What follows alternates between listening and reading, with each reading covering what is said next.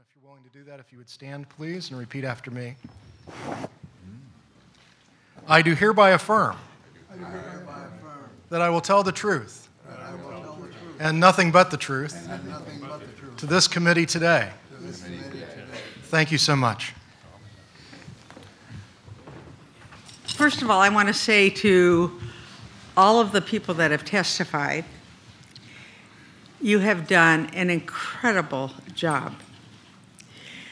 When I was asked to do this, I debated for a while, and it's a subject literally I know very little about, except what I read in the newspaper, most of it years ago. Um, I was a skeptic when I came. And what I have found, and this has to do with the credibility of the people that have testified. I want you to know that. That I don't know what it is or how big it is, but I do believe that we have, um, that there are spaceships, whether they're friendly or whether they're enemies. We have that they have been enough sightings of a human creature. I don't know what it looks like. And so I appreciate what you have, the sacrifices you've made, and what you have done. And for those of you here testifying for family members, or this is the first time that you've talked in public about this issue, you are to be commended. I know it has to be a difficult thing, and it's easy for me because I just got to sit here and listen to all of you. Uh, and so I just appreciate all of you that have been here and what you have done. And uh, it was a privilege to sit and listen to your testimony. So thank you very much. So that's your closing remark? Thank you, Representative Hooley. We'll now uh, start with our witnesses, and I think we're allowing 10 minutes each. That's great. If I could ask, okay. Uh, Dr. Wood, would you begin? Thank you. It's an honor to be included as a witness. In 1966, I had been working about 13 years for one company and was doing well as a young engineering executive at Douglas Aircraft. That was the year the Air Force decided to have a symposium dedicated to important developments in space 10 years hence. And my boss, Ray Hallett, had been selected to speak for our missiles and space part of the company on how to better to get things to orbit and back. He asked, What do you think we should talk about? And I said, partly as a jest, Why don't we just tell them how the alleged UFOs do it? He actually liked the idea and asked me to work on it. That was when I read my first UFO book, actually, one by Don Menzel, the science arch skeptic. And I saw clearly that he was ignoring the reported data. I immediately read a dozen books on the subjects.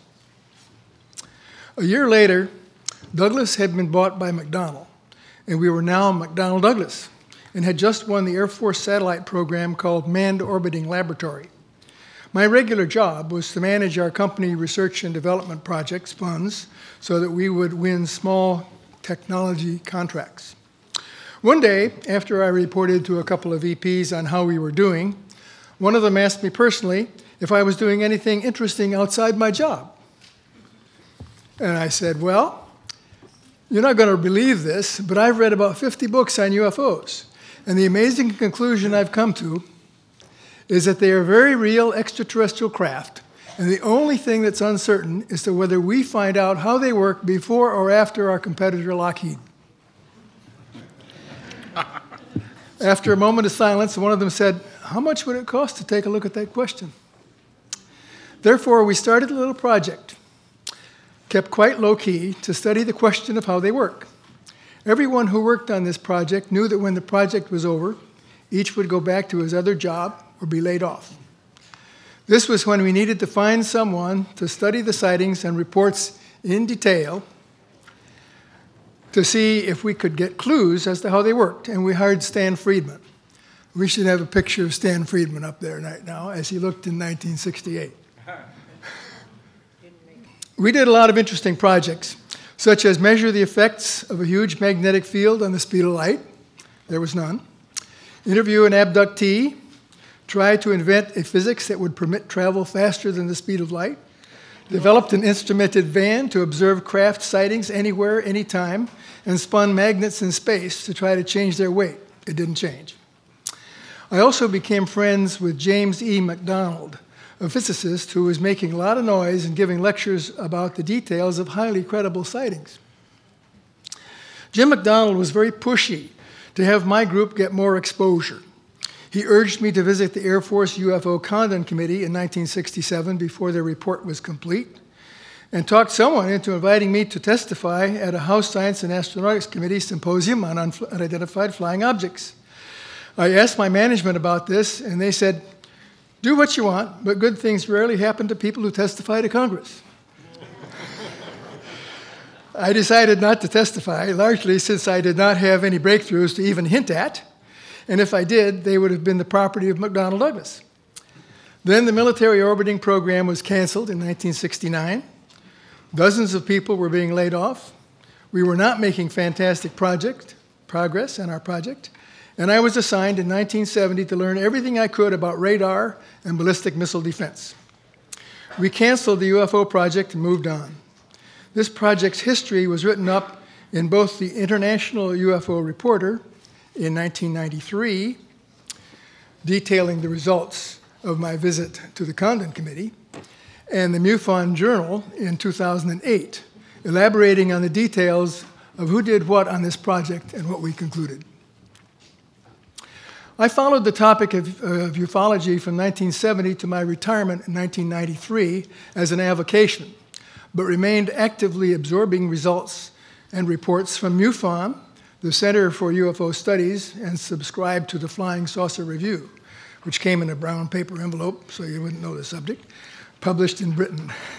The consistency of alien reports occurring psychically caused me to be aware of other anomalous literature and I had the pleasure of meeting Dean Bob Jahn of Princeton University, who was initiating a consciousness research project. At the same time, my knowledge of radar put me in a position to manage a classified program with top secret access to various subjects. I had read an article by Dr. Hal Puthoff, currently then at Stanford Research Institute, reporting on some amazing results in remote viewing. We used our CIA contacts to work out a test project on coordinate remote viewing, where the subject is allegedly able to observe and describe what is at a specific Earth coordinate. This sensitive remote viewing project wound up being funded by James S. McDonnell, CEO of McDonnell Douglas, who was subsequently told by his lawyers that he should not have used foundation money to accomplish work in his profit making firm. The results of one test of six targets were interesting but not spectacular. We speculated that the viewer might have gone to a coordinate in time when the most emotional events were happening at that location. This project also provided access to anything to do with ballistic missile defense. And I used a nice classified library at another facility to see what there was on the defense against UFOs. There were quite a few intriguing reports available, such as a classified version of the Iranian Air Force F 4 Phantom jet pilot attempting to fire a missile at a UFO only to have his controls shut down as soon as he thought about doing it. Then, after I had borrowed and read quite a few of these anomalous reports, the whole library system was changed so that it was no longer clear where to look for reports. I also stayed aware of anomalies in science in general. And when the so called cold fusion results of Pons Fleischmann were announced in 1989, I was aware that our company attempted a quick covert test to try to replicate the results. I was told we were not successful, but by then I was working on advanced technology for NASA International Space Station and not involved in any proprietary activity. After retirement in 1993, my focus on UFOs became the authentication of leaked documents as described on Wednesday. If these documents are valid, they are consistent in the telling the story of exposure to the alien technology, attempts to understand it, and many specific tales of successfully understanding the principles and building devices that have become the technology breakthroughs we all enjoy today. There is a case to be made that the three crash recoveries of Missouri in April 1941 and LA in February 1942, 1,430 rounds of ammunition during the famous LA air raid, resulted in a specific contract to study how germanium and silicon might be used in the preparation of semiconductors. Those individuals receiving reports and samples included Edward Condon at Westinghouse, Bell Laboratories, Hans Bethe of MIT Radiation Laboratory, and Shockley of Bell Telephone Laboratories in 1945, who is given credit for inventing the transistor in 1947. These leaked documents, taken as a whole, visualize and speculate on the impact of alien technology on our society in a diverse array of fields of science and technology. And Doctor, you've got about one minute left on your time. Thank you. All right, then I'll ignore mentioning Philip Corso's uh, comments. So, what of my opinion of what's required to understand how they work and to build one? The simple answer is I don't know. But beyond that, I could say I would look for the following four things. First, a way to cross the light years to stars without actually physically speeding past and through the space and space debris that separates us. Second, a way to interact with time in a reliable fashion through the equivalent of the so called wormhole, so that journeys would take years, wind up taking minutes. Third, a way to permit a person's mind to interact with matter so reliably that all you have to do is think clearly, and equipment does what you want it to if it's designed right. Finally, to expect that the breakthroughs will come from unknown scientists, probably pretty young, who are looking outside the establishment's perspective of the solution. I leave you with this thought that Arthur Clarke's famous quote is highly applicable. Any sufficiently advanced technology is indistinguishable from magic. I think that the millions of years that may separate us from the alien civilizations are not significant because logic does not change with time. I expect that the laws of physics, which we have yet to understand, will be the same, and so will the equations. We just have to find them. Does some black program already have this knowledge? Thank you, Dr. Wood. We, uh, could we, let's see, could we now uh, have uh, Dr. Uh, Greer uh, take 10 minutes? Thank you very much. I appreciate being here again. Um, I would like to open with sort of a historical overview of advanced technologies that began in the late 1800s uh, with the breakthroughs with Maxwell and also Faraday. It turns out that the Maxwell equations that were developed had a number of changes that resulted in what is now classic electromagnetic theory. Uh, this has resulted in a number of errors uh, in the equations, which are, have been corrected by people who have looked at them very carefully. Between the late 1800s and 1929, there were a number of breakthroughs that ended up uh, being suppressed that had to do with creating very high voltage VHV systems so that you could create a vector into what's now been called the zero point energy field. And I refer the panel to the uh, Jane's Defense Weekly writer uh, Nick uh, Cook and his book, uh, The Hunt for Zero Point. Uh, this uh, began to be explored by people like Nikola Tesla and others.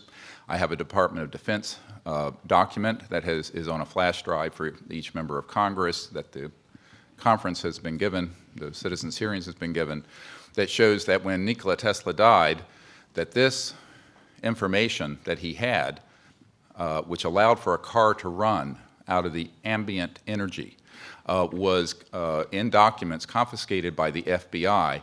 And I have a Department of Defense document demanding that the FBI turn these over to the DoD. The FBI refused. At any rate, science continues because the laws of the universe are, in fact, universal, and they can be discovered here or around Alpha Centauri or any place else in the cosmos. By 1928 and 29, T. Townsend Brown, as well as the Kowsky-Frost experiment in physics in Germany, had determined that VHV, very high voltage systems, done in a certain resonant field, could result in so-called electromagnetic effect, the lifter effect that has been described, which you see in UFOs. They also can create what's called a space-time bubble around an object so that you can correct for 1g. This is how these objects are traveling at multiples of what any aerodynamic uh, physics would describe and can make right-hand turns without killing the occupants. Around this same time, there was in the 1940s and the late 1930s a number of UFO sightings. This included the so-called Foo Fighters. Yes, it's a famous rock group. However, the Foo Fighters took their name from the reports of these objects seen in the theater of World War II that were flying around our aircraft. We thought it was a secret weapon of the Nazis. The Nazis thought it was a secret weapon of ours. Uh, there was Jimmy Doolittle, the famous general. His nephew is a dear friend of mine, and he has testified that General Doolittle was sent by FDR over to the European theater in World War II, investigated the Foo Fighters, and came back and told Roosevelt, and I quote, they are interplanetary vehicles. So by then, there began a classified program, uh, and which was augmented further by events, as mentioned, in 1941, and then, of course, the famous Roswell event. Those events led to, as Philip Corso describes, a reverse engineering program. As you all know from the famous Wilbert Smith document of 1951 from Canada, it talks about that flying saucers exist, but there's a high-level team headed up by Dr. Vannevar Bush that is studying the, quote, modus operandi of these vehicles. These were the most brilliant scientists, Edward Teller, Oppenheimer, and others, Herman Oberth, amongst others, who were in this team studying how uh, extraterrestrial vehicles move. In October of 1954, a key date I want the committee to remember, we have actionable intelligence from someone who has worked in the National Security Agency and has been in the vault. All of this went deep black because they figured out at that point gravity control. So since 1954, October of that year, we have not needed rockets, jets, internal combustion engines, and surface roadways between cities. I say this with authority that this is the case. Eventually, these breakthroughs in human discovery were complemented by the study of the extraterrestrial material that were retrieved from these events.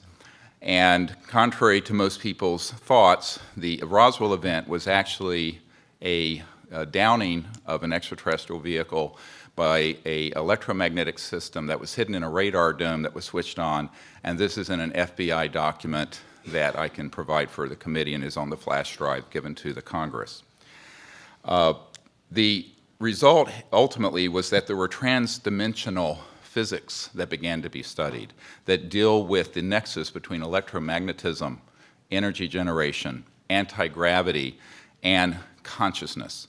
And we have discovered that there is a nexus and that, in fact, there are electromagnetic systems that have been developed that can interface directly with what we call coherent thought, the same way that you can interface with uh, a system with lasers, which is coherent light, where you sync up all the wavelengths.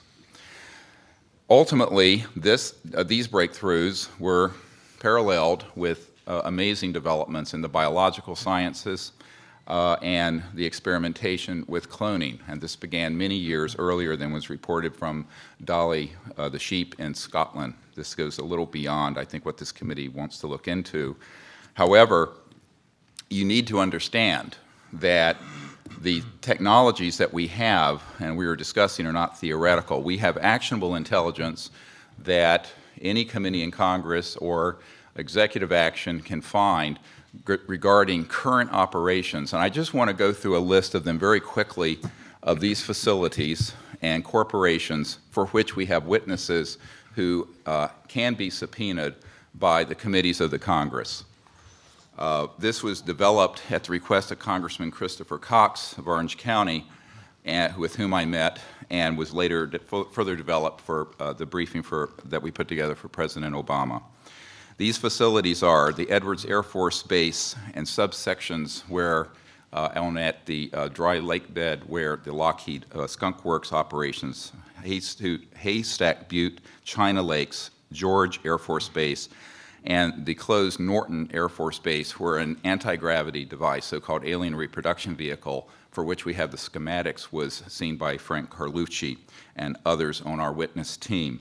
Uh, Tabletop Mountain and Blackjack Control. Uh, the aerospace facilities there are the Northrop Anthill Facility, Tejon Ranch, the McDonnell Douglas Llano Plant, Lockheed Martin Helendale Plant, and the Phillips Lab. At the Nellis Air Force facility, so-called Area 51, no one calls it that. There's S4 and S12, Pahute Mesa, Groom Lake, and a num number of sub-facilities.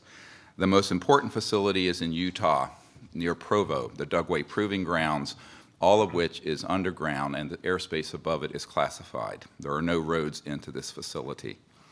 The New Mexico facilities include Los Alamos National Labs with underground connectors to the so-called Dulce area where the biological work is being done, and Kirtland Air Force Base. And the complex there includes Sandia National Laboratories, Phillips Labs, Manzano uh, Mountain Weapons Storage Facility, Coyote Canyon, and the White Sands Complex. In Arizona, near Fort Huachuca, which is Army Intelligence Headquarters, there is a UGB underground base where one of our witnesses, who will testify, worked on nine separate extraterrestrial vehicles that had been down through advanced electromagnetic pulse weapons, and there are several different species of extraterrestrial biologicals stored at that facility. The other facilities, and this goes on, uh, include the, uh, a special compartmented area of Cheyenne Mountain where we have witnesses in our team who can be subpoenaed uh, where that we have tracked extraterrestrial vehicles in our solar system that were measuring 26 miles in diameter. Uh, there are also uh, facilities in Australia, a key one being Pine Gap, the so-called Alice Springs facility, which is mostly a U.S. Air Force facility, even though it is in Australia. Um, I recently talked to the Deputy Prime Minister of Australia about this. Uh, also, the Redstone Arsenal and the Marshall Space Flight Center. We have a scientist at the Redstone Arsenal under, who works under contract for IT&T who have developed these transdimensional systems. He was under contract with my project to bring these energy devices out, and he was then threatened by a former CIA director and what I call the goon squad that went down there three years ago in March. This is just part of the information we have, and this information is on the flash drive given, then that you're all welcome to review. Thank you. Thank you. Well, well done and well timed because that sign came up just about three seconds after you ended. Uh, Dr. Valone, 10 minutes. I'd like to start with my slides and show them exclusively as I go through them. Uh, what I'm about to say is uh, my own personal viewpoint, does not relate in any way to the federal government. Nothing I'm stating is uh, reflecting government policy, and they're my original thoughts as a private citizen. Uh, next slide. This is a presentation of what I'm familiar with, and the uh, my journey began in 1980 with the uh, book called Sunburst Return of the Ancients by Norman Paulsen. And the book was fascinating in the fact that there were a lot of very anomalous UFO uh, uh, details uh, shown. This particular side by side photo, and uh, the person who took the photo was a deputy sheriff holding the instamatic photo taken in broad daylight over Giant Rock. This is fascinating because none of this has happened since then, and uh, Van Tassel, George Van Tassel, was responsible for holding UFO conferences uh, through the 50s and through the 60s. I even talked to Dr. Bob Beck, who witnessed one of these craft, and as you can see, there's some type of force um, illumination below the craft as well. So I went out to the community and uh, found what they were working on was a homopolar generator. Uh, next slide. The uh, interesting part of the book described the uh, propulsion system as being 12 magnets around the outer edge of a very large disk, size of the ship, carrying off electrical current. Two disks in opposite direction provided the gravity force, whatever propulsion system they had. So this particular passage I reprinted in my homopolar handbook. Next slide. And also convinced my professor at the State University of New York at Buffalo to let me work on it as a physics project for my master's degree in physics. And I was very pleased to actually build a homopolar generator, test it for back torque, and unfortunately I measured back torque, which means it slows down as you draw current from it. So the mystery continued. Um, next slide. I basically found that uh, Dr. Ed Mitchell, as you see here on the cover of Extraordinary Science magazine, was also interested in the same topic. Uh, Bruce De Palma was the source of the interest, and he was building homopolar generators like crazy, uh, looking for investors one after another, which he succeeded in doing. However, uh, Ed held on to his money, which is in his breast pocket there, and um, what was interesting about this particular cover that came out years later was that the Searle disc is also shown on the same magazine cover next to the Hummel homopolar. So I thought this was sort of a coincidence or synchronicity, and I ended up investigating the Searle disc. Next slide. And I met John Searle in 1980 in Germany, and uh, he actually became kind of a, a, curiosity to me. Even today, he still is. He's still a living legend. Uh, he claimed to have uh, these discs, as you can see here, uh, hovering, and he had a UFO experience when he was young, and then he started building these things. So, uh, next slide. Uh, basically, tried to help him, connected with different people. He essentially became a little more well known when he gave a talk in Berlin in 1990, and then some Russians discovered him because of that lecture in the video and decided to build what they described as a single uh, roller magnet assembly with 12 ro roller magnets around the outer edge of a ring. And so I started to think twice, of, hey, this may be something related to what was called the Mu disk back in the Paulsen book. And that's one of the biographies you can get off the shelf, Anti-Gravity, The Dream Made Reality by John Thomas. Next slide. So the, the short, long story short is that these roller magnets are individual homopolar generators, and they definitely seem to lend itself to voltage generation if the whole ring could somehow be propelled. And that's the magic and the mystery behind the whole thing. Well, the Russians had a whole grocery list, as you can see on the right, of all these anomalies that they supposedly measured. And so what I ended up doing, next slide, was to connect them to an investor, um, which I constantly do throughout these years, find an investor for the strange inventors, put them together, in this case, we went to the Department of Energy. The contact was very friendly to us, offered a Russian translator for us. We did due diligence for the whole day, and the investor was comfortable to throw his money at the Russian Godin Roschin inventions. And the outcome was, next slide, the big prototype at cost of a lot of uh, money, to, uh, which was built and completed in Moscow. And then it was retrofitted and completed again and again, and even to this day, it doesn't quite do what it's supposed to do, but it certainly looks interesting. Uh, next slide. So the, back to the George Van Tassel story, um, since this is dealing with implications of extraterrestrial technology, uh, George's story is that he had lots of UFO experiences, even rides on craft and so forth. And his, um, um, would you say his download or his uh, conclusion from all of these experiences uh, was, hey, I'm going to build a healing chamber, a rejuvenation chamber, uh, called the Integratron and it's right near Giant Rock. I've actually gone out there. Next slide. And it still is existence today, integratron.com, and it's all wood construction with no nails. Next slide. And it's very fascinating because it has these unusual die rods. The whole assembly of die rods was supposed to rotate, and it also has a primary and secondary coil inside that looks like an inverted Tesla coil. So you get the impression that it would draw atmospheric uh, electricity. Since it's very dry there, it's feasible this would work, and then charge up the inside with some uh, of this energy. Next slide. So that concludes the possible rejuvenation implications of ET contact. Um, and what I'd like to conclude with is the zero point energy inertial shielding on electrogravitics. Next slide. First of all, zero point energy is very famous. I wrote a book on it. I wrote two books, actually, and it's been confirmed consistently even up to last week, where our Future Energy News announced some new polymer um, that actually can't be explained unless two thirds of it is due to zero point energy. Next slide. And here we have the reason why zero-point energy may be important, and we'll see if she can insert the 30-second video that's supposed to actually start. I'm not sure if we're going to get a video or not, but, oh, maybe. Okay. Yes. Okay, this is an example of many. You've probably seen some of these already. The, the craft is spinning, it's up close, it looks like a legitimate, uh, authentic video, uh, amateur video, and right about now you're going to see a very fast acceleration. And that's what we've been talking about, folks. And the important part is that um, this introduces a concept which I'd like to share with the panel, and that is uh, inertia is involved.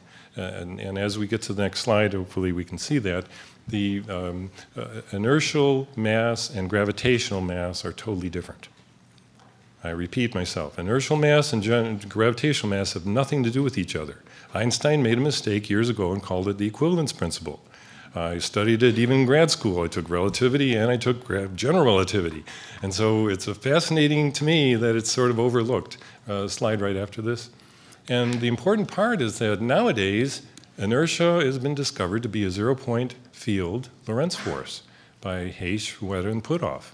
This is a seminal paper that's so important that it opens the door to actually controlling inertia and understanding how any ET craft or UFOs could possibly have fast acceleration, right angle turns, and maybe even travel through the universe. It turns out F equals V cross B, a simple Lorentz force at the bottom of the um, slide there showing how it works. So when we go around a curve and you feel that force moving you in the opposite direction, it's an electromagnetic interaction. Next slide. And this applies to relativity. I, heard one of the gentlemen on the panels uh, questioning uh, special relativity. Well, that's inertial mass. That is the m in relativistic increase in mass as you go toward the speed of light. If you can shield inertial mass, miracles happen. And this is another demonstration. I showed this slide to the deputy director of the NRO, National Reconnaissance Office, in case you don't know what NRO stands for. And this was very important because, as you see, F equals ma, Newton's law can be modified. If, if m can be shielded and it lowers, then a could increase for the same amount of force. Next slide. Oh, and by the way, the uh, NRO uh, deputy director said, well, things like this tend to become more and more classified until they're out of sight. He says it's easier for us to reinvent it for a private contractor. And I said, You mean the taxpayers have to pay double for something like this? And he said, Yes. so um, here's another proof of inertial shielding, and that is the right angle turn that's photographed here with open shutter, 35 millimeter on tripod, 2 a.m. outside Stewart Air Force Base. The triangle craft started from the upper part, and the shutter was open, made a tremendous right turn, then continued as if nothing happened red and green lights make it look like it's conventional. Next slide. And Dr. Valone, you've got about one minute. I understand. I see. And now uh, the conclusion is electrokinetic equation helps explain how we can combine electrokinetics or electrogravitics and inertial shielding. A pulsed current will produce a force. Next slide. And I wrote a book on the electrogravitics effect that's even present in the B 2 bomber, thanks to Paul LaViolette's work and research, and originally starting with Townsend Brown's research. Next slide. And the conclusion is, and I have to give thanks to Mark McCandlish, who gave a testimony at Dr. Greer's 2001 disclosure project in DC, since we know once in a while such electrokinetic powered craft are put on display, as this one was in 1988 in Norton Air Force Base which is also uh, his entire testimony is reproduced thanks to Mark um, in my book Electrogravitics 2. And this was also uh, verified and investigated by Dr. Hal Puthoff. And I talked to him personally about this story of Norton Air Force Base showing three hovercraft, and he did his due diligence with it, and he says he put it in his gray box of possible events. Thank you. Thank you very much.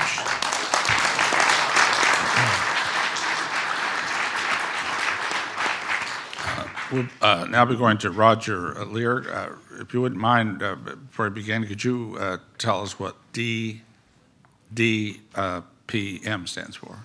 A doctor of podiatric medicine. Okay, thank you.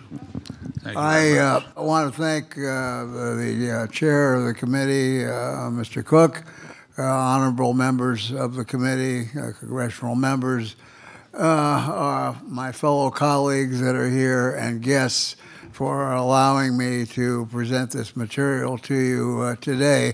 I know we have certain time constraints, uh, so I'll, we will do my, my very best to stay within those time constraints. Uh, I've already submitted a, um, a written document which I will read uh, to the committee, and I've also submitted to you some uh, paperwork which is uh, of a scientific nature of our findings. But I have not uh, stated anything of my own personal background, so I'd like to take uh, a very short period of time to do that. I have a, a degree as a Bachelor of Science, Doctor of Podiatric Medicine. Uh, I did uh, research with uh, Dow Corning for bone replacement implants. I've done participated in research in tendon regeneration. I have a good uh, knowledge of uh, the biological workings of the human body. Uh, I was also, uh, for uh, three years, uh, the chairman of a committee at the Cedars of Lebanon Hospital in Hollywood, California, head of the diabetic clinic, and director of residency training program at a hospital in Simi Valley, California. Uh, if anyone had told me uh, at that time that I would be involved in uh, anything in the UFO field or traveled to uh, 42 countries and uh, participated uh, in the things that I have participated in relative to UFOs, I would have said they're nuts. Strange things have happened in my life that were very synchronistic.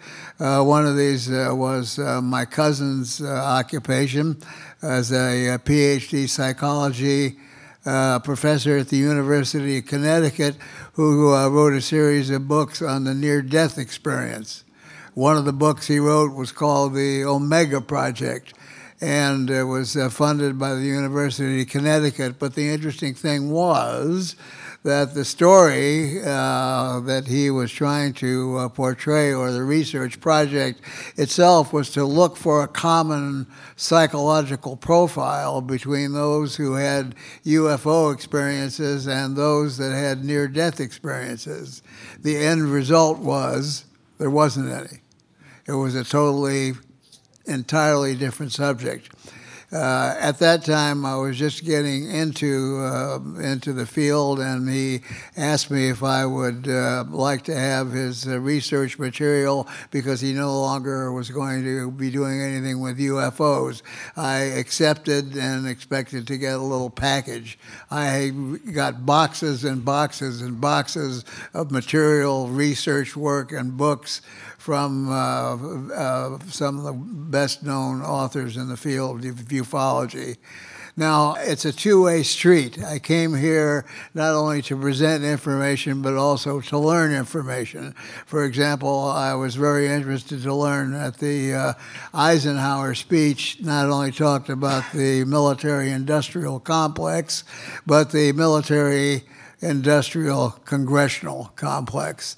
I thought that was very informative. I also thought that it was very informative to learn that the oaths that were taken by military officers and other officers in government was to the Constitution of the United States and not to any particular committee or policy. So I am here also as a student to learn from you.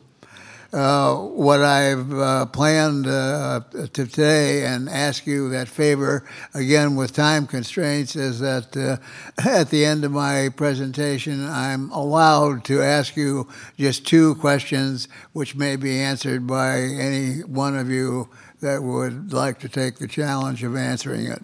We'll be willing to suspend to do that. Uh, thank you. I appreciate that, Mr. Chair. Now, I'd uh, like to uh, read the uh, written presentation that I prepared and submitted uh, to the committee. Uh, I, with my surgical team of uh, medical specialists, performed 16 surgeries for the removal of foreign objects from those individuals who allege alien abduction. The 16 cases involved removal of 17 separate and distinct objects One of these objects turned out to be a small run of ceramic like glass, which was manufactured by Dow Corning Industries. In almost my 50 years of podiatric surgical practice, I have removed literally hundreds or numerous, uh, numerous objects from the human foot, including paper, gla- glass, metal, uh, stones, hair, coral, many other objects, including secret metal. Uh, at one time, a patient came in with uh, two gentlemen in suits and the proper identification. Uh, he worked as a machinist uh, for an aerospace company. Uh, I removed the object and they said, please. And so I handed them the material that I removed from the individual's foot. Later, come to find out that it was a new material that was experimental for the use of rocket valves in rocketry. Uh, the individuals involved in the study all presented with uh, no noted portal of entry for any of the objects that were removed.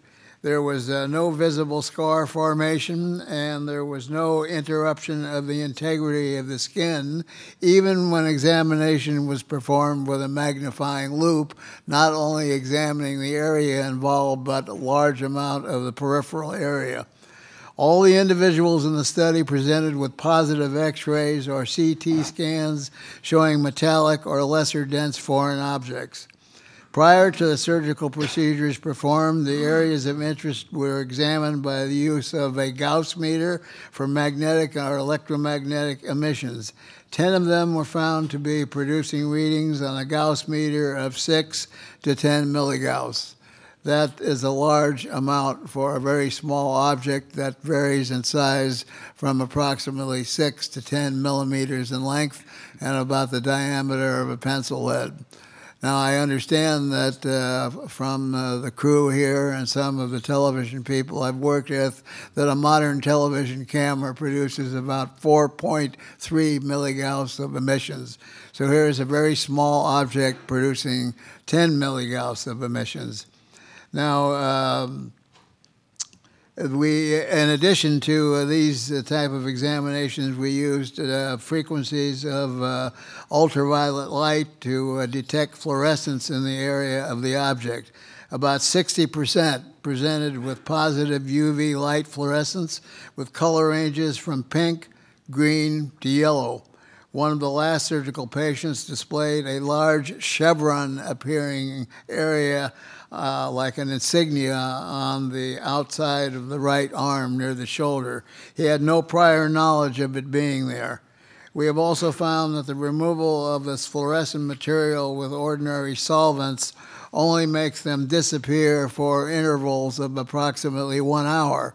But when re examined again, they appear again with the use of ultraviolet light with varying frequencies. In addition, by use of radio wave frequency detector, we were able to detect that certain radio frequencies in the FM band, both in the megahertz and kilohertz range, were being emitted from the object. It was determined that in one case, the frequencies detected, and this is through a chart that I was able to obtain through um, sources that I will not be able to mention, but these frequencies were noted fixed or mobile deep space frequencies. Unfortunately, our limited budget for performing this research has not allowed us to obtain a radio frequency analyzer so that a radio wave could be captured and analyzed. All Doc, surgeries doctor, were you have performed. about one minute. I just wanted to make you aware of that, so you could. You got about one minute. Yes, sir. All the surgeries we performed were, were, documented with eyewitnesses, video, and still photography. We established a chain of criteria and protocols for a forensic chain of custody. All the objects were placed in sterile containers using the patient's own blood serum. These containers are then uh, signed and not opened again until they reach the laboratories. I will skip some of the material because of time constraints. We find that in all pathological reports, there is no inflammatory reaction, there is no rejection reaction. There is no, in exhaustive research of human science, there is nothing that we have found in material science that will produce absolutely no inflammatory reaction in the human body. these objects all do. Also, in addition, they are surrounded by a large amount of specialized nerve endings called proprioceptors, and these are areas which are not consistent with Gray's anatomy. The pathology reports and examination we have sent to material science laboratories. Some of these include Los Alamos National Laboratories, New Mexico Tech, University of California at San Diego, Southwest Laboratories in San Antonio, Texas, as well as numerous other laboratories outside the country. ANS research, research scientists and our science board has enabled us to do some of our own scientific studies. I've already described some of the length and size of the object, so we'll skip Doctor, I over absolutely that. hate to do this, but your time has expired. And uh, what we're going to do, though, is suspend and allow you your request. And I would ask the members of the panel to, uh, to keep their answers, not questions, their answers here, as short as possible so that we can at least get five minutes for our questioning of this technology panel that I, how often do we get to hear from four PhD physicists, scientists, everything else? So I uh, want to have plenty of time for our questions, but go ahead. You want me to, to be finished? No, no, no, I want you to ask the question. You asked me to Sure. change the rules in order to Okay. ask. What I'd like to ask you, uh, number one, is uh, do you, uh, in your present positions, being retired uh, Congress people, Senator, do you consider the United States to be a world superpower? Anybody that wishes to answer that? In terms of uh, military uh, capability and force, yes. In terms of intellectual capacity and moral guidance, no.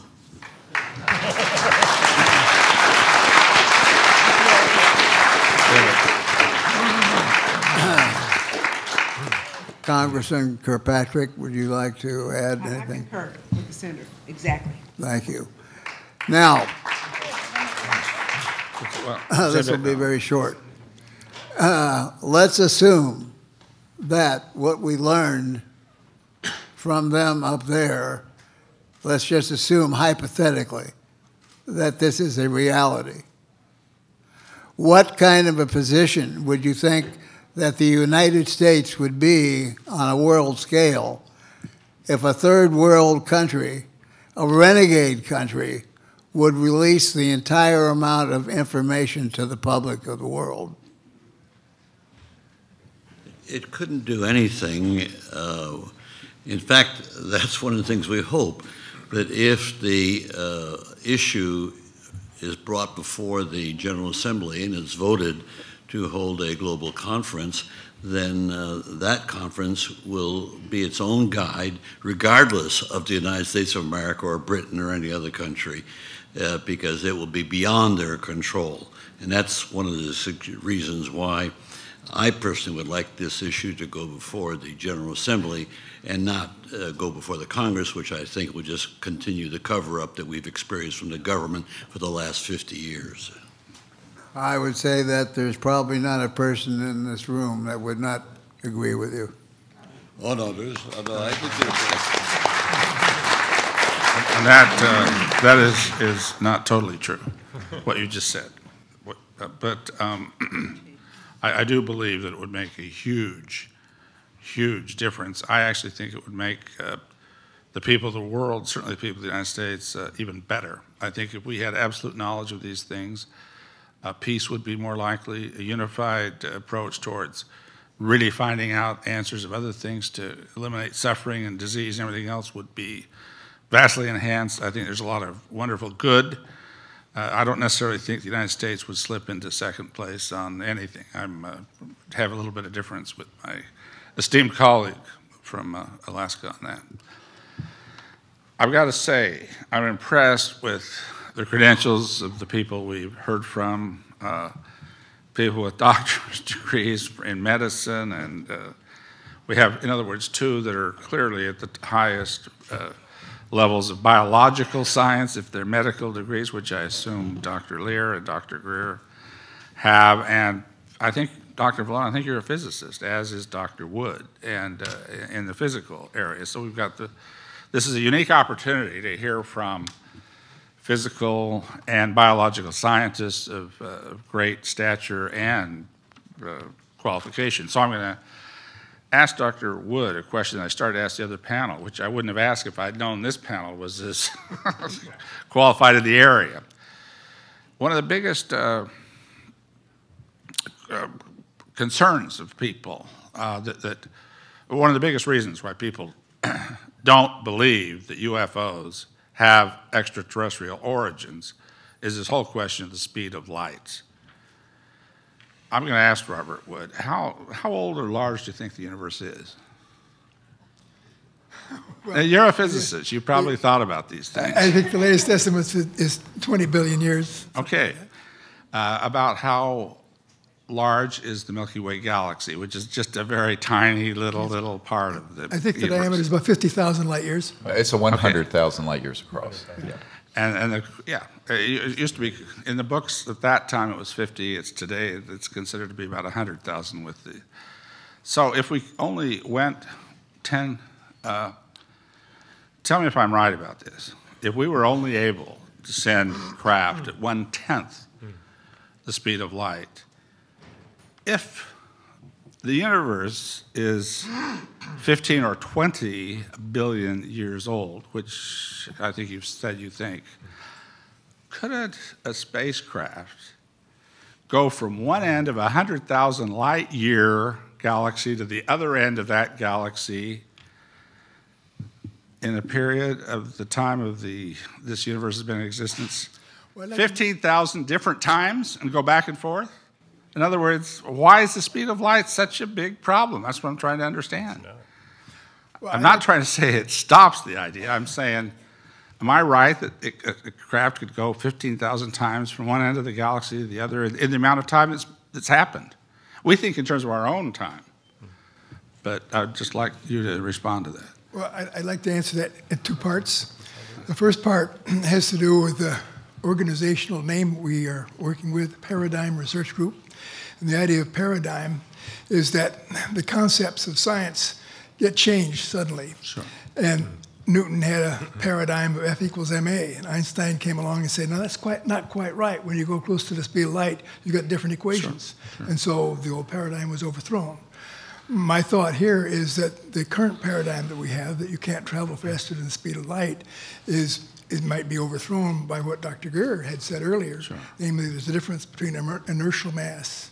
But, but, but it wouldn't be true then, that if we, if we could go the speed of light, it wouldn't be just 15,000 times doing that. We could do that 150,000 times. In other words, speed of light isn't really a barrier to The speed- interstellar travel, is it? In, in my opinion, the speed of light is not a barrier at all. Okay, that's what I wanted to Well, establish. Can I Don. comment on this Yeah, just for a please. moment? Because uh, one of the areas that, that, it- I don't know how much has been talked uh, about prior to today, is the whole area of trans-dimensional physics. So Well, if you're dealing with three-dimensional space or four-dimensional uh, space-time, you have one set of equations. But when you deal with very high voltage systems that cause an alteration in what's called the spin, spin theory, mass, and also inertia, you have another whole set of equations which have not been disclosed yet that then become operative so that you can go from here to the end of our galaxy and back, controlling for time on Earth right now in a matter of perhaps minutes or days. Okay, and I don't, this I is, I don't gets, question what you're this saying. gets but I'm going yeah.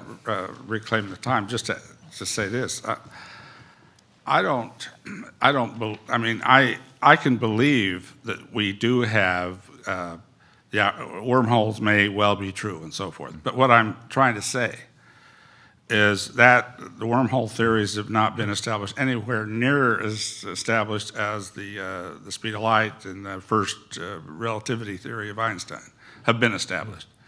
So what I'm trying to say is we don't have to establish, I'm trying to ask you, we don't necessarily have to establish some of these physics, which may well be true, that could be established into the future, in which there are some interesting indications from the, even the past that might be happening.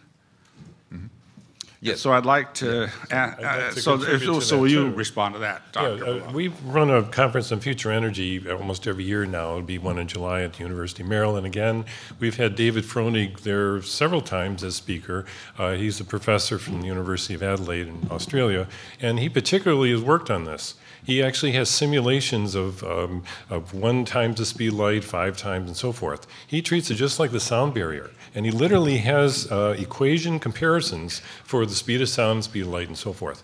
So my uh, emphasis is trying to make it simple, and that is the uh, inertial mass is the key to understanding how this is possible. And the special relativity equations, which I'm very familiar with, only deal with inertial mass. So If I could recognize reclaim my time really quickly. yeah, and, and If so we we've got a start talking about artificial intelligence being involved in the control of certain vehicles as opposed to natural intelligence being in control, couldn't we also overcome some of these barriers that people have been talking about? I mean, we Artificial send intelligence. artificial intelligence today out into space. Is that a possi, is Well, that the, a advan- the, possibility? the advanced extraterrestrial technologies do deal with uh, technologies that cross into the And I see, conscious uh, quantum hologram and directed thought. I gotta be and this clear, is I hate to cut you off, but my time has expired. I can't violate what I'm making everybody else live by. But uh, we will now go to, uh, to uh, Congresswoman Woolsey. Okay, uh, the first thing I want to do is thank you all for uh, adding an even deeper level of credibility to this uh, hearing that we've had this week. Uh, Thank you very much. Uh, The subject of ufology is so out there that we have to, many of us have to just know that because of who you are, what we're doing uh, is the, what we should be doing.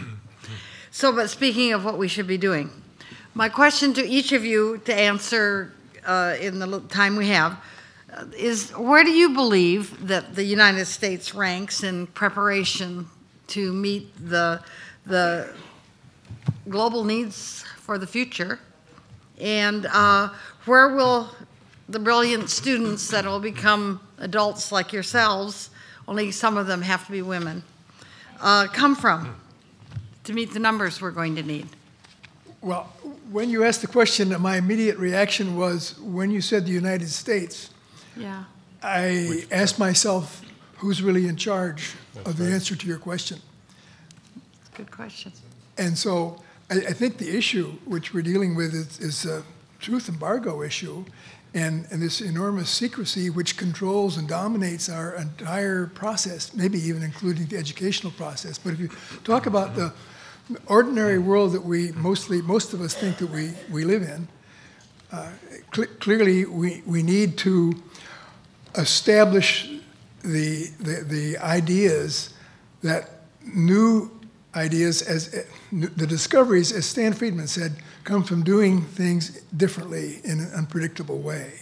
So I think we need to emphasize the importance of creativity in developing the next set of equations that we need and may have already been discovered, but we need to, to make our society better and stronger. Thank you.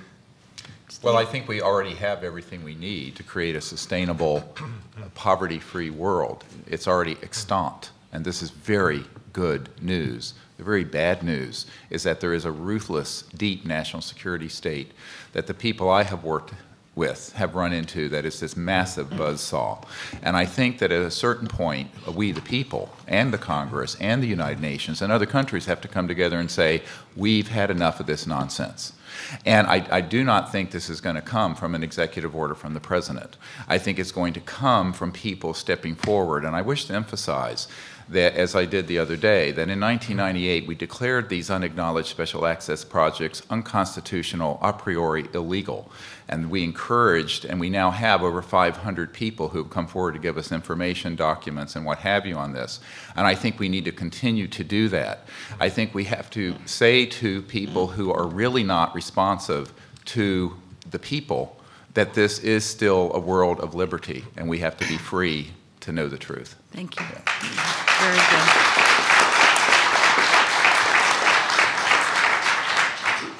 Dr. Valone. Could I show uh, slide 23, please, as I'm talking? Um, what I'd like to explain is that I agree with our um, co-panelists, and that is the uh, United States already has these this technology. And I had the privilege of talking with a former Black Project engineer. Uh, spent the whole afternoon with him taking pages and pages of notes, one of which is actually in front of me right here. And what I learned is, first of all, he taught me all the details of creating an electrogravitic layered um, uh, semiconductor that with bismuth in between and magnesium and zinc with the same percentages that when slide 23 pops up, you'll see that was published years before in a um, co uh, colleague's book called uh, uh, Secrets of Anti-Gravity Propulsion. And uh, Paul, Dr. Paul LaViolette only let me know uh, a year later, uh, he said, oh, this sounds like what I learned from another Black Project engineer who actually was through Aviation Weekly over in England. So this is very interesting because my contact told me so many things I couldn't believe. I just took the notes down. But after I corroborated this with Linda Moulton Howe's art, artifact as well, we have three different corroborations within 1% variation of the same artifact. In fact, slide 24, if she gets that up, will also show the actual um, semiconductor. But the important part is that we have the technology. Students are contacting our Integrity Research Institute all the time saying, what should we study? And this is, I used to be a college teacher. You need 13 chapters with questions and answers at, uh, at the end of each chapter. And the books need to be written. Uh, the zero point energy book, the electrogravitics mm-hmm. book. These the textbooks are the textbooks of the future, and the students are already there, waiting to study this stuff. Mm-hmm. So this is the book I'm talking about, and if we progress to the next slide, um, we'll see the actual uh, page that Paul was talking about. And this to me was amazing synchronicity. So I started to believe the other stuff that this Black Project fellow told me, and that is we already have a, a, base on Mars, which was established in the 1970s. And I said, oh, I don't believe that. He says, oh, go, go check the NASA records of the greenhouse gases from Mars's atmosphere. They increased in the 1970s. Mm-hmm. I mean, that was his counter, counterpoint and uh, so forth. He says we have a deep space platform. He even gave me a jaw dropper, and that was the Gulf Breeze UFO conferences that almost amazingly always had a UFO sighting during the conference. He says, I know the guy who ran that craft. It was a back engineered craft, and he just did it for fun fly over the UFO conference and create some, some stir. Hmm. So, um, this is the kind of problem we have. All right, thank These you. Boys with toys. Thank you, Dr. Leir. I have uh, a different uh, approach. Okay. I'm very pessimistic. I believe that the knowledge, the basic knowledge of all this having to do with the, we've been using the term extraterrestriality as a more general term than it should be used because we really don't understand the entire ramifications of the universe itself. We don't know whether this is a multiverse, whether there are various time uh, areas involved.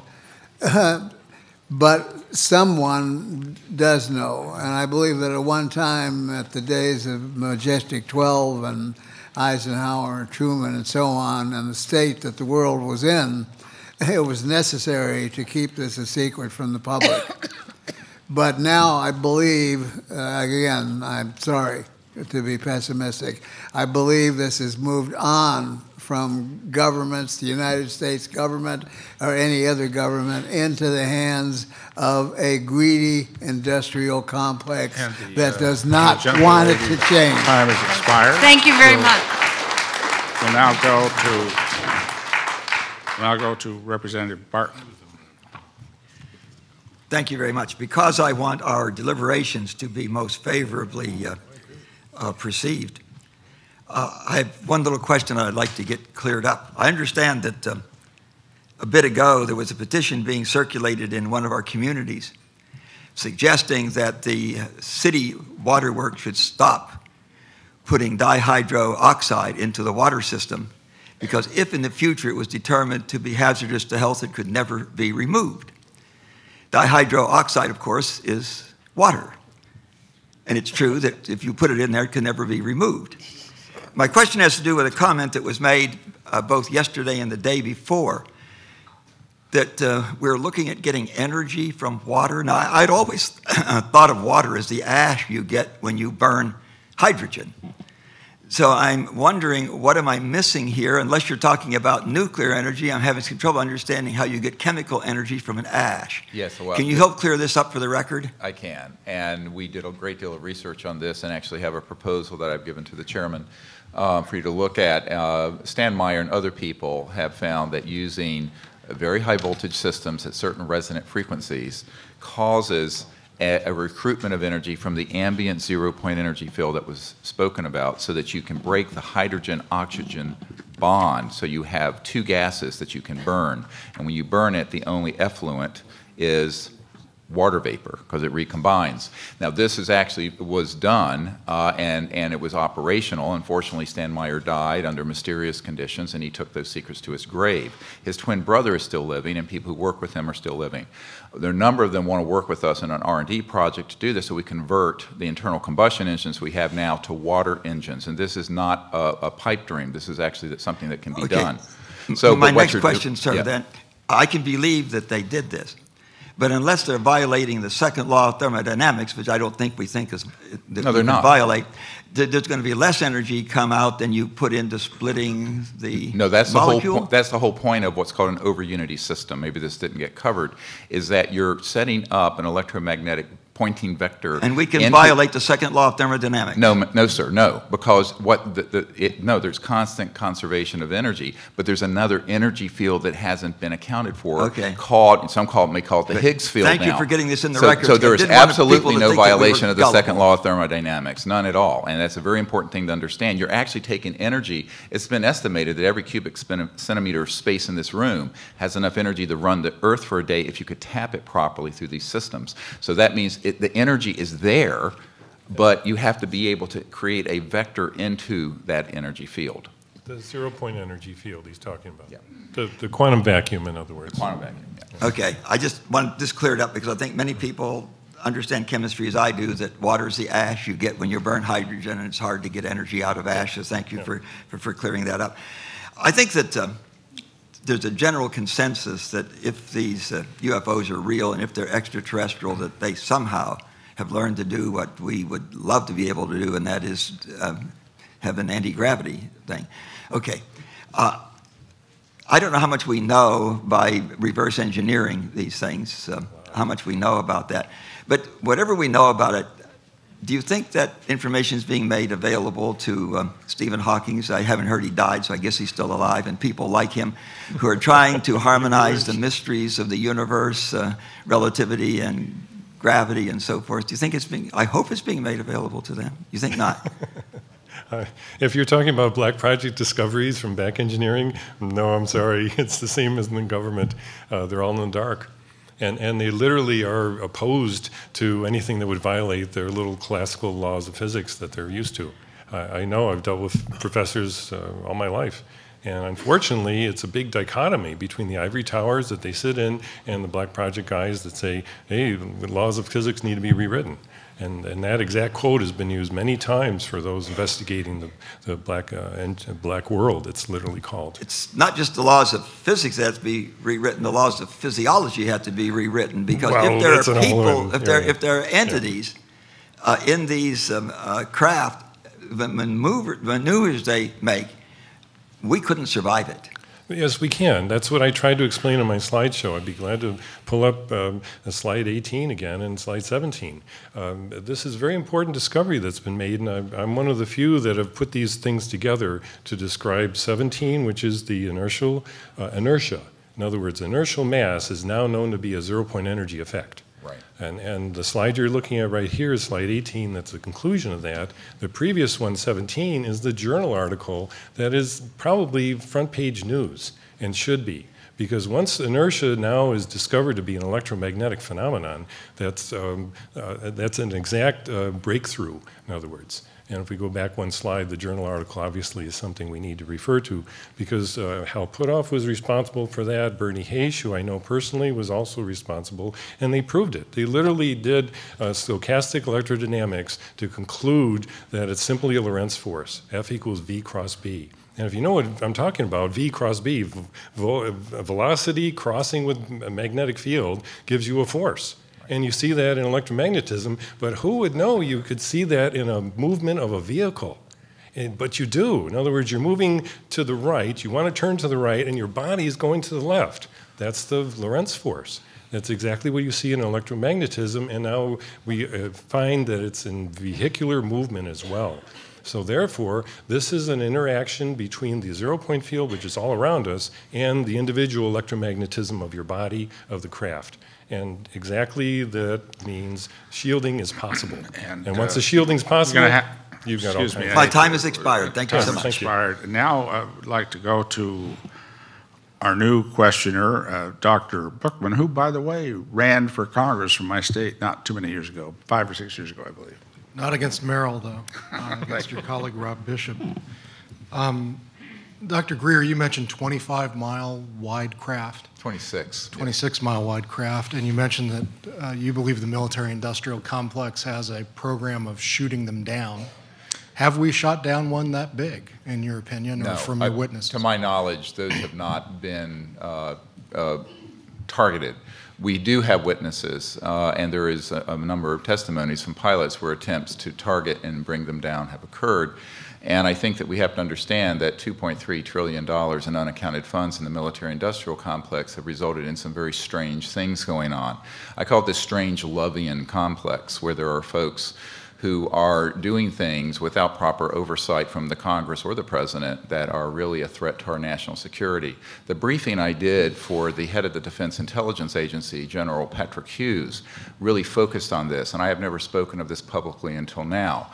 But the big concern was is that there was a cabal or a deep national security operation of which he knew nothing and did not control that was doing some rather dangerous things that could uh, endanger not only our nation but the world. And I think this is an existential threat to not only world peace, and I think we have to start thinking not just of world peace, but of interplanetary relations and universal peace. But to get more specific, there are portable EMP, electromagnetic pulse systems, and others that involve scalar or longitudinal waves that are, as opposed to a light wave that moves like this, are longitudinal, that have been weaponized. And as uh, Wernher von Braun uh, uh, stated in the last years of his life through our disclosure project witness, Carol Rosin, that uh, these sort of technologies were being deployed in the space and should not be. Uh, moreover, there's a number of false flag operations that have happened, as was referred to in Gulf Breeze, where there have been objects that appear to be ET that aren't, and contact events that appear to be alien that aren't. And these include uh, the manufacture at EG&G near the Nellis Range of a number of implants. Uh, as you know from our witness, uh, Mr. Pawlik, who worked with the CIA, they were manufacturing up to 2 billion of these in the 70s and 80s. This interview is on YouTube.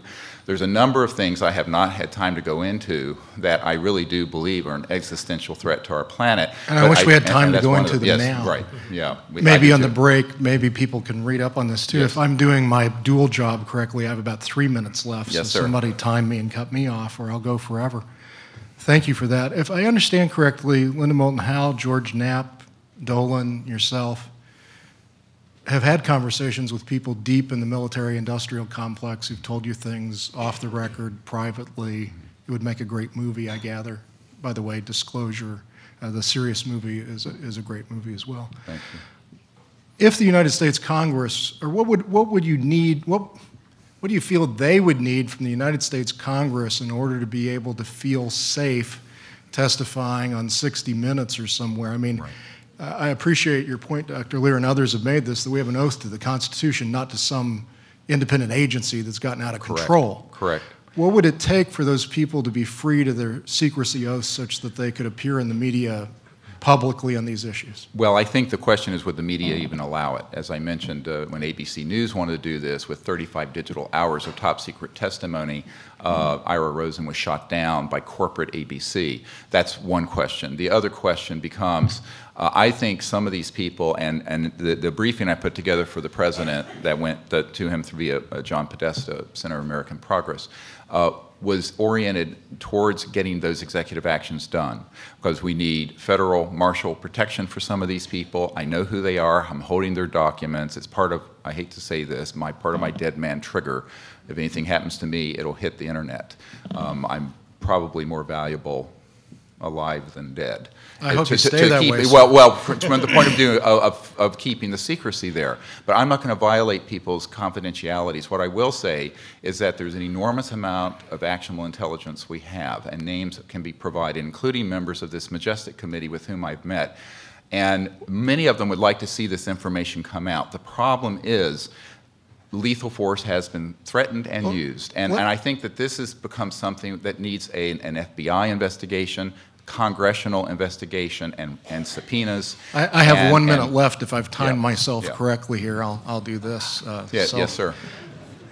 I- I- Are you saying there's nothing Congress could do to pass legislation? When I ran for Congress, I called for legislation protecting whistleblowers. Last, this administration has been prosecuting whistleblowers like crazy. Right. And I said we need to protect whistleblowers on waste, fraud, criminal activity, and the UFO issue. And all the media focused on in my campaign was ridiculing me over UFOs. Thank you, media. Is, is there anything Congress could do such that those people would feel safe? Yes, And they I'll can end issue, that they can question. issue subpoenas, and they can also require the uh, Federal Marshal Protective Services to protect them, and they would be. And I think that this is something that can be done if there was the will and the intent within the Congress. Barring that, I think we've brought out as many people as we can. One of my frustrations is knowing too many people and having too much information that I can't give actionable intelligence on to the general public without violating. And I take this like a doctor with patient confidentiality without protecting those people's confidentiality. and but we I've- have this information. I would love to be subpoenaed so I could give it over to a proper I've heard that from. George Knapp and, and others as well. You're not alone in that. There Right. are a lot of witnesses that, if Yes. protected, would come out. And with that, I see my time is up. Yes. Yes. Thank you. Thank you, Dr. Berkman. We'll- We'll now go to uh, Senator Gravel.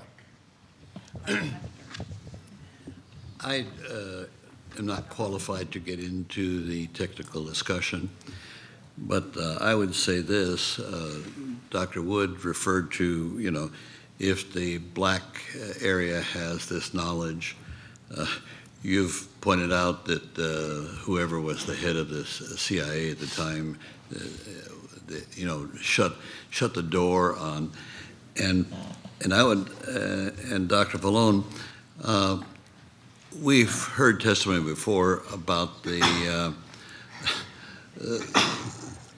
the fact that somebody was boasting from one of these black areas, which is these contractors, that we have the capability to take ET back home. Uh, Is that something, briefly, this squares with your knowledge at this point in time? Absolutely. That's a quote from the former CEO of uh, Lockheed, I believe. Yes, Yeah. Ben Rich. Ben Rich. So uh, it's a famous quote, and, Well, and then it's true. what- Uh, and Okay, but I if would agree with it. if you think that's believable, and that's a quote from the head of a, of a corporation, you know, this is criminal. Absolutely. Because we go back to uh, what Dr. Greer was saying, that, you know, we have the capability of, of sharing this technology and freeing up the world to an unbelievable level. Yeah. So, so, so we, you know, we stand capable of indicting in the, in the area of public opinion, the head of what, Lockheed? Yes. Well- That's right, skunkworks, And he, he knew what he was talking about because he had all the That's contracts. fine, I'll accept that he knows what he's talking about. He's depriving the world of to of possible advancement. Yep. Here, you- all, all of you, all four of you, you interface with scientists in a whole black area. You know, you're, you're trying to talk, you're talking, where's their moral content? Well, I can answer that if you. Where is it? They got a hole somewhere. Ben Rich wrote a book, and he specifically described the sundown rule. And I wrote about it, it's on our website, it's one of the recommendations we have. The sundown rule should be enforced. And that is classified, fine, how many years? You have to put a time limit on every classified document. And therefore, it's, it's going down, the sun's going down in 10 years, and it becomes free. and the public gets access to it. Well, the- Right now, the- we have about 50 Fine. years. Well, I got to tell you, the Congress has tried to put that kind of a rule in on the laws, and That it's be- never worked. I know. So, Well, this is why Good I luck think in your at least field. one solution. Well, this is why I think in the tradition of, of, of Martin Luther King, in the tradition of Susan B. Anthony, in the tradition of Thomas Jefferson, we should say, the hell with these games. People who know this, I believe, as you said, have a moral obligation to our children and our grandchildren to step forward with the truth, with the technology, and with the information, because there is a criminal national security deep state that has basically thumbed its nose at the Constitution. And for that reason, there is no, no uh, justification for the continued secrecy. Uh, and I think that one of the things uh, all of us as citizens have to decide is whether we're going to do that or not. Could it be risky? Yes. Do we have to make sacrifices? Yes. Uh, but you know, part of it gets, gets into every everybody puts their, their pants on one leg at a time. I was talking to the deputy director of the National Science Foundation, and I turned to him and I said, "We really need your help getting this information, this technology out." He says, "Yes, I'd love to, but it'd be the end of my career." And I said, "Okay. On one hand, we have the fate of the future of humanity. On the other hand, we have your career. Your selfish And so, okay. career. Your selfish career.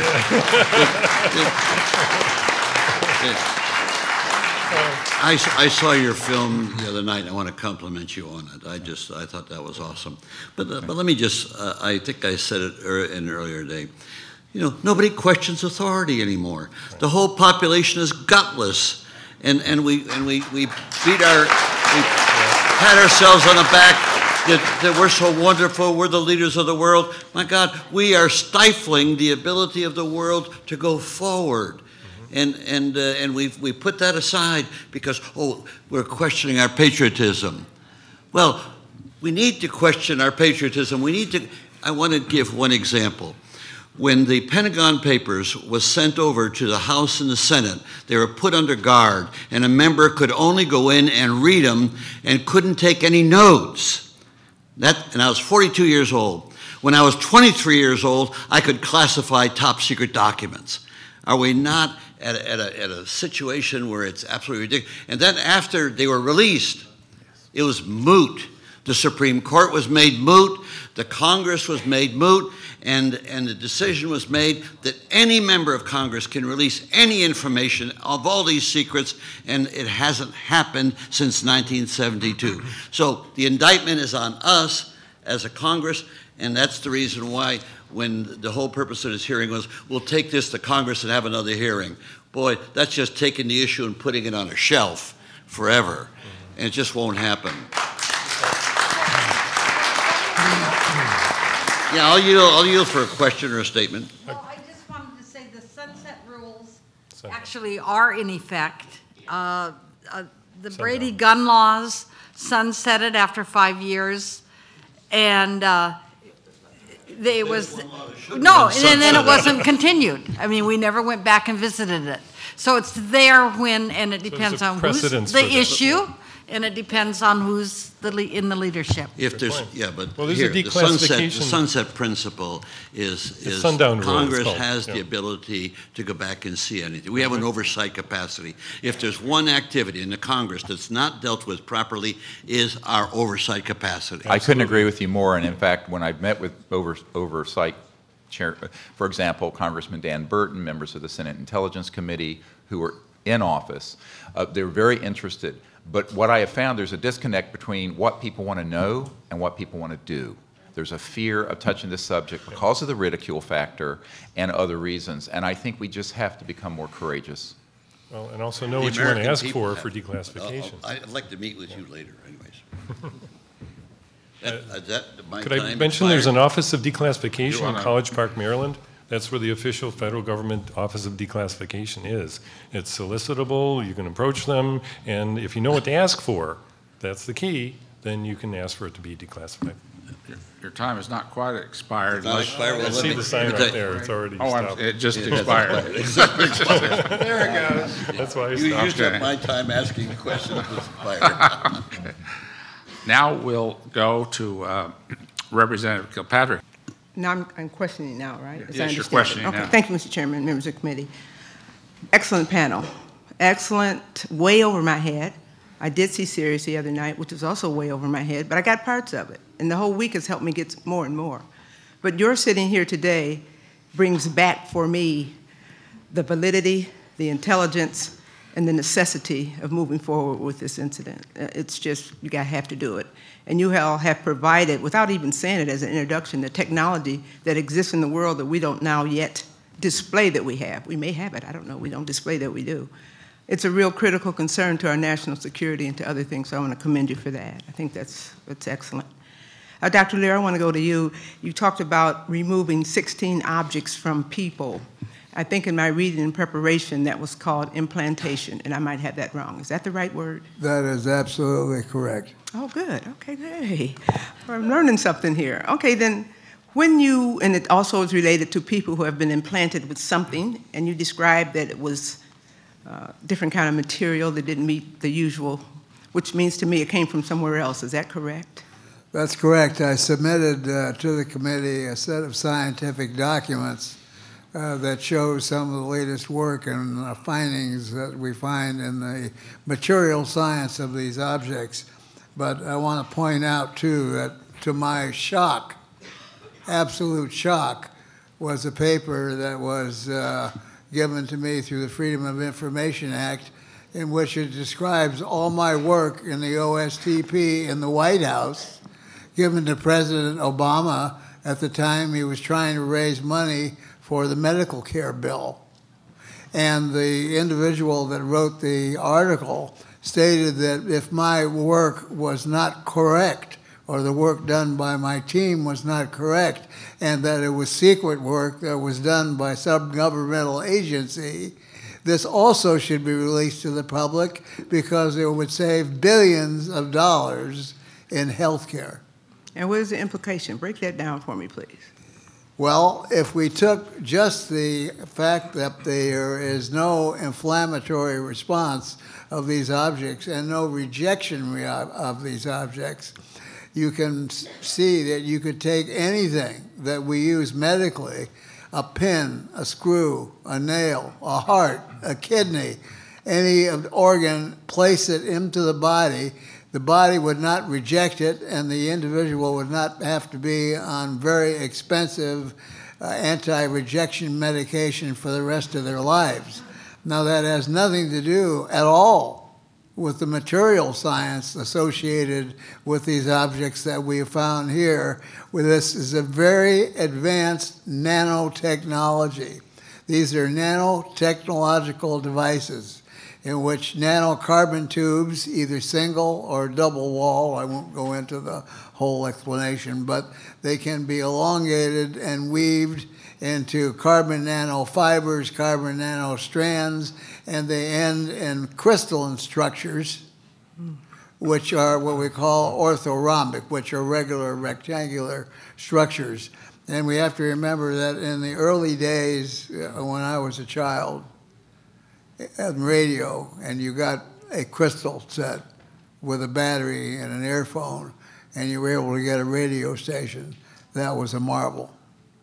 So here's a very, very advanced nano. When I say nanotechnological, I'm talking about things that are on a level of the size of an atom, using the principal elements of certain materials, putting them together in such a way so that you're actually uh, broadcasting or switching what we perceive as a radio wave, which may not be a radio wave.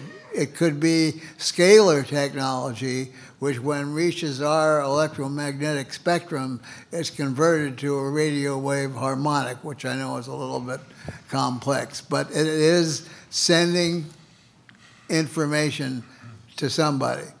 So somebody out there is listening to something going on in our bodies. Now we know that even John Glenn, when he went into space originally, complained on public television that he had to swallow implants because this was vital information needed on the physiology of the body to know what was going on in space. Okay. And so therefore, your conclusion, you and your team, as it relates to healthcare, as it relates to our country, as it relates, relates to our budget, and to our phenomenon topic, topic we've been talking about today, what do you conclude? Well, I conclude that if there was funding, at least funding, or uh, open mindedness from the scientific community, which there is not, because they also pray to higher masters. They don't want to lose their jobs, they have families to feed. They don't want to look at this stuff in the way that we've looked at it for the benefit of mankind. Thank you very much. If, if we can bring up slide 25, I would like to show 25, 26, and 27 very quickly, and that is scalar waves are hugely important because what Dr. Leir just mentioned is a big, um, uh, another um, overcoming of the speed of light problem with electromagnetic waves traveling so slow, there's no communication possible across the Milky Way.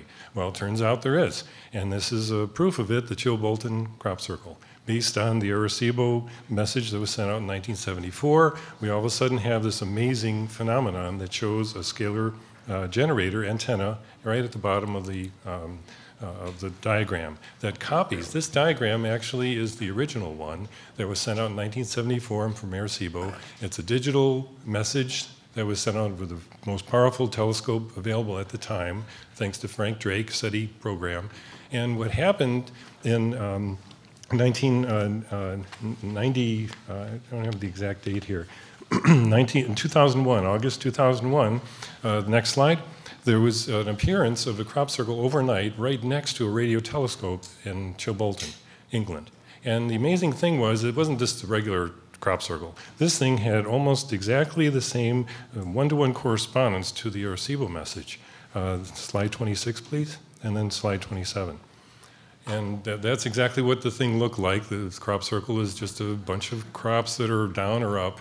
And then the next one is 27. And we see at the bottom of 27, instead of the Arecibo antenna, which is a parabolic dish, we're seeing something that looks like two circular objects that literally, uh, it says a change in transmitter diameter from one of the online commentaries on Chilbolton. And the very bottom is something that describes a scalar broadcast uh, antenna that is actually the answer to instantaneous communication across the Milky Way. Enough said. This is, this is a big breakthrough.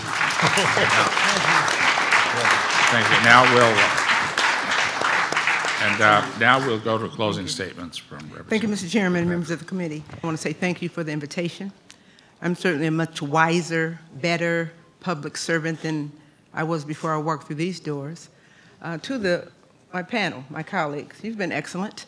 Many times we are so busy in Congress, we don't get to know each other unless we travel in what's called congressional delegations and do some work, or work on the committee. You know best your committee and your caucus. And beyond that, these things help. So thank you very much. And to the staff and all of you. To the witnesses who have been with us all week, outstanding. I think it's America's loss that none of the press across this country felt the obligation to cover these hearings the information that we've learned, that American people should also have learned, and those who streamed, God bless them, probably did get some of it, will make them better people as we confront the next hundred years, the next thousand years.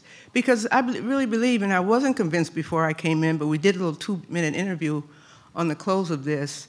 And what I said in mine is, I didn't know before, and I still have a lot to learn, but I'm willing to learn because it's a universal problem, and I want my grandchildren and yours and our great grandchildren to have a universe in which to operate. So, on behalf of this Congresswoman, as I go about my day and catch my plane and hope it lands smoothly, doctors, that um, I can come back and be with you again. We've got a lot of work to do.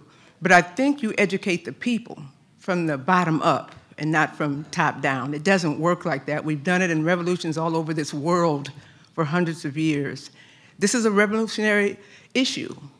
And if we're going to sustain us, ourselves as humans, just a part of the universe, we've got work to do. To all of you, and I'm looking and seeing some of you in the audience uh, as you presented to us, thank you for allowing me to be with you. Thank you very much.